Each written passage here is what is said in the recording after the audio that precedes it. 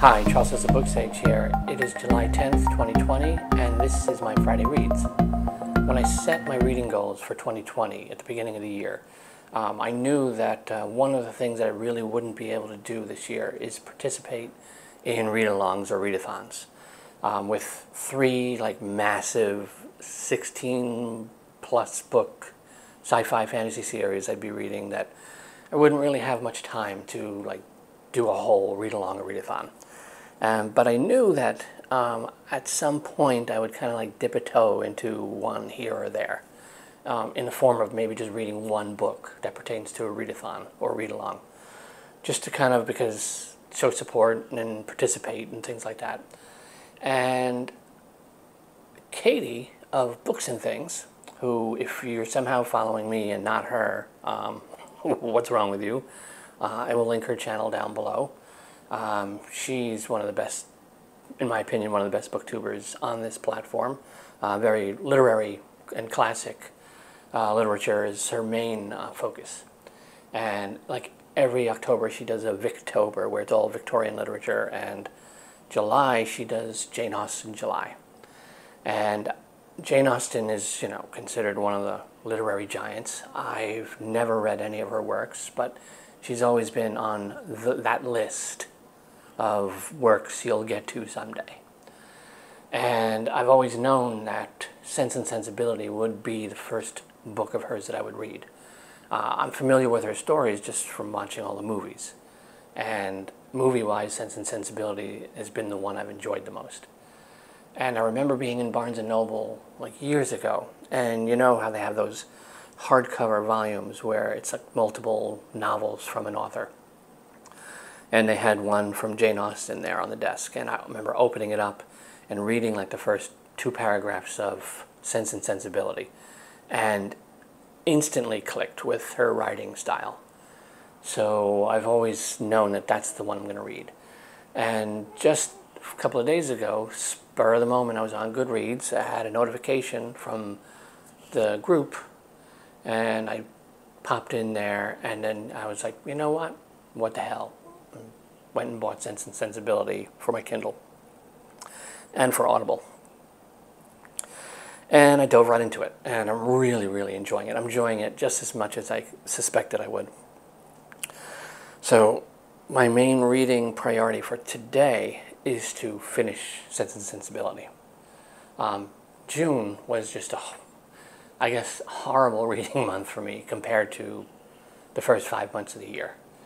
Um, I didn't read any of the three main series that I'm working through, my way through this year. Uh, but I did read a couple of interesting things. But this isn't a June wrap-up or anything. Um, but now that it's July and we're in the second half of the year, uh, it's time for me to add a fourth, yes, a fourth massive series that's at least 16 books long to my reading workload. And that is the Dresden Files. Now, Dresden Files is a series that, again, it's been on my radar, it's been there my Uncle Barry, this is one of his favorite um, literary works. It's one of his favorite stories is Dresden. And it's always very high on his recommended list uh, for anyone he recommends books to. And it's something that I knew I wanted to read so he and I could, you know, discuss the series. Um, but it was always, you know, I'll get to it, I'll get to it, I'll get to it. Well, my uncle passed away over a year ago. So I never got to actually dive in and converse with him about this series. And unfortunately, since he's didn't get to obviously finish reading the series because it's, I think the author is working on the last couple of books this year. But at the beginning of the year, and it's been on my mind to somehow fit that in. And then I've seen some other people reading and working their way through the series. And it's just like, you know what? Um, I can't put it off any longer. Even though I've got Malazan, Vorkosigan, and Harrington, I'm adding Dresden as well. So once I finish um, Sense and Sensibility, I'm going to dive into Stormfront, the first of the Dresden books. Now, the only thing I know about Dresden is he's, I guess, a wizard, sorcerer, something like that, living in modern day. And I don't know if he's sort of passes himself off as a detective, not really sure. I remember there was a short-lived TV series and I, that I did watch and I did enjoy. The only thing I remember about it, though, is he had, I think, I think a talking skull, but I'm not sure. I don't really remember the plot at all. Um, but I'm really looking forward to that.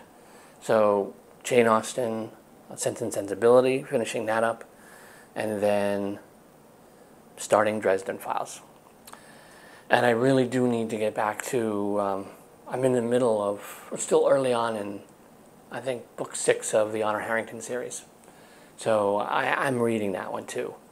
Um, but I'm behind again in that schedule. But it's not a ironclad, I must do this schedule. But I really want to try to get as much of those series done this year as possible because of what I have lined up for next year. But anyway, just a quick little touch base, Friday reads, see how you're doing. Get some English breakfast tea this morning. I am actually running low on some of my tea. I'm almost out of this. I'm out of my Scottish breakfast tea. Um, I just restocked my Irish breakfast. But yeah, I need to get some more Scottish and English breakfast teas. So, yeah, I guess that's it. So, Sense and Sensibility and Stormfront. And I think, um, and who knows what else, I might just decide to pop in and read. I've been buying books like crazy. I think I'm now up to maybe 32, 33 books bought in the last like month or so.